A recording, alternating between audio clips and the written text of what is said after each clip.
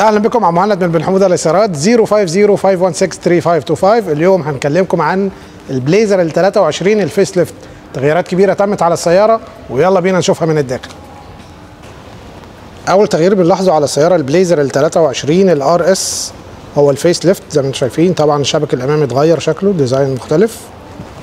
الإضاءة الرئيسية طبعا ال LED كامل زي ما هي كانت موجودة بس design مختلف كمان في الكشافات الرئيسية.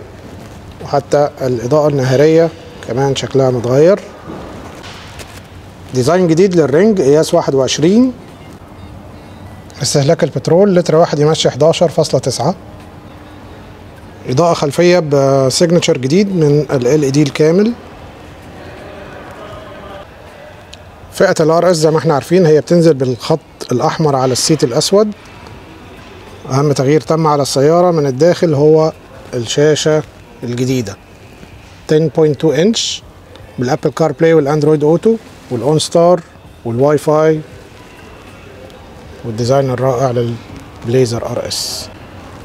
ماكينة السيارة طبعا 3.6 308 حصان وتسع سرعات أوتوماتيك وتم تغيير وتطوير ال gear بقى dual clutch يعني أنشط واستهلاك بترول أقل استجابة أسرع على البليزر ال RS 23 face lift طبعا زي ما أنتم شايفين اللون الأحمر بينزل two tone السقف بلون وجسم السيارة بلون.